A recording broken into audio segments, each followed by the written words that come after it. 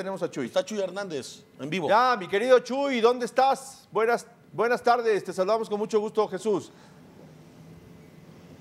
¿Qué tal, Rafa, Zúñiga, Luis? Un placer saludarlos. Estamos aquí afuera de la Fiscalía de Delitos Sexuales del Estado de Jalisco, al norte de la ciudad por la calzada Independencia Norte, esquina con hospital, a unos 10, Siete minutos del Estadio Jalisco. Eh, pues aquí estamos esperando a que Ricardo Antonio Lavolpe aparezca. Está citado para dar su declaración, para contestar la denuncia que presentó Alma Belén Coronado, la podóloga de Chivas, hace una semana. Estamos aquí, eh, La Volpe, bueno, primero, estamos aquí desde las 8 de la mañana. La Volpe no se ha presentado. Dicen que entre 6 y 7 puede llegar. Lo están esperando por la puerta alterna a esta Fiscalía del Estado de, Delitos Sexuales del Estado de Jalisco. Otra cosa, la situación de la, de la situación de, la Volpe después de escuchar a la podóloga, pues se complica porque se polariza más esta situación. Ante esto, como tú bien dices, no somos fiscales, no somos los jueces, pero sí quedan muchas situaciones en el tintero para saber la verdad.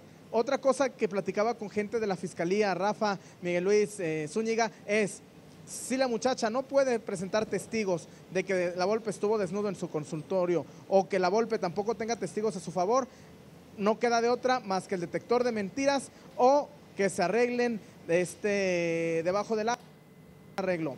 Me dicen también gente de la fiscalía, gente que está al cargo de Luis Carlos Nájera Gutiérrez de Velasco, el fiscal del hombre fuerte de la justicia en Jalisco, es que el hostigamiento sexual, el acoso sexual no es delito grave y que Ricardo Antonio Lavolpe no pisaría la cárcel. Si se le llega a encontrar culpable Lavolpe, pues estaría, estaría simple y sencillamente eh, eh, pagando una multa, pero sí que no, no estaría detenido Ricardo Antonio Lavolpe. Hay movimiento, Chuy.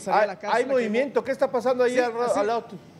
Bueno, eh, hay, movimientos. Aquí vamos, vamos a acercarnos, ¿no? Digo, a ver, a ver, vamos. a seguirle. nuestros compañeros en la prensa están, están aquí. Este, bueno, vamos a entrar aquí a la, fiscalía. Este, vamos a entrar, de hecho están este, pidiéndonos que, ingresemos. Este, parece que va a haber una rueda de prensa. ¿Se va a haber una conferencia de prensa? Bueno, no, sabemos, pero nos, nos dicen que la golpe ya se encuentra dentro de la fiscalía. Eh, Rafa, amigos de... Muy bien. No, por eso, a ellos también. Pues bien. Lo, mantenemos ahí. A ver, vamos a tratar de mantenerlo. Si pueden meterse en vivo. estamos con imagen y todavía Jesús nos está escuchando y lo estamos oyendo. Pues usted lo acaba de ver completamente en vivo. Eh, justo se, genera ahí un movimiento, no sabemos realmente por qué, pero pasan reporteros, ya se metió Chuy. De, hecho, es que los compañeros de los medios se, metieron aquí a la fiscalía, ya estoy adentro, no sé si la cámara también entró. no, no, la cámara sí. Nos mantenemos vía telefónica contigo en lo que se mueve la cámara, si quieren.